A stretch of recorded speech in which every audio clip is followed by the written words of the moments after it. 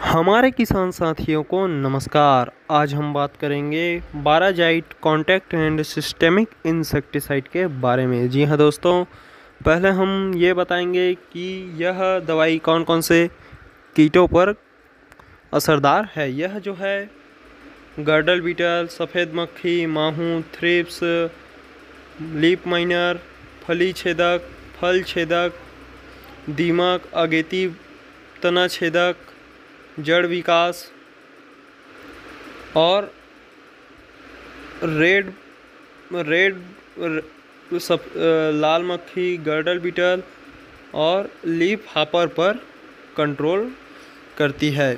इसकी जो है पैकेजिंग आपको सभी प्रकार की एमएल में मिल जाएगा। इसका जो टेक्निकल नाम है वो है नो, नोवालुरॉन पाँच पॉइंट दो पाँच प्लस इमामेक्टिन बेंजोएट शून्य पॉइंट नौ प्रतिशत की फार्मूलेशन में आपको देखने को मिलता है। इसका जो व्यापारिक नाम है, वो है बाराजाइट इंसेक्टिसाइड।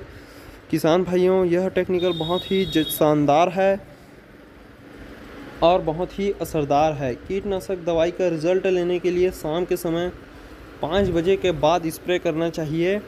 उस टाइम पर आप लोगों को बहुत ही अच्छा परिणाम देखने को मिलता है।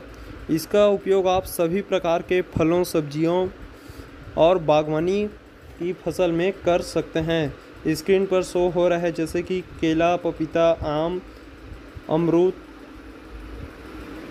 अनार, सेब आदि प्रकार के फ़सलों में कर सकते हैं। इसका फ़सलों, फलों तो हो गया, आप कौन कौन सी फ़सलों में कर सकते हैं?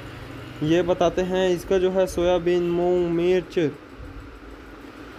गेहूँ, राहर, गन्ना, कपास, भाटा, चना, लगभग लगभग सभी प्रकार के बागवानी से लेकर फ़सलों और सब्ज़ी वर्गीय फ़सलों में इसका उपयोग आप कर सकते हैं और आपको बहुत ही अच्छा परिणाम देखने को मिलता है।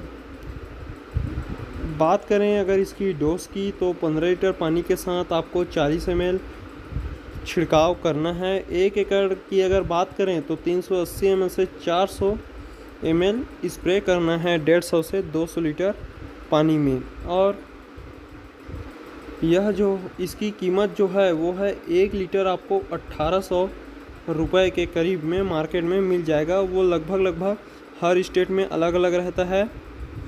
और इसकी सावधानियाँ आपको बच्चों, पशुओं से दूर रखें और स्प्रे करते समय मुँह पर मास्क ज़रूर लगाएँ।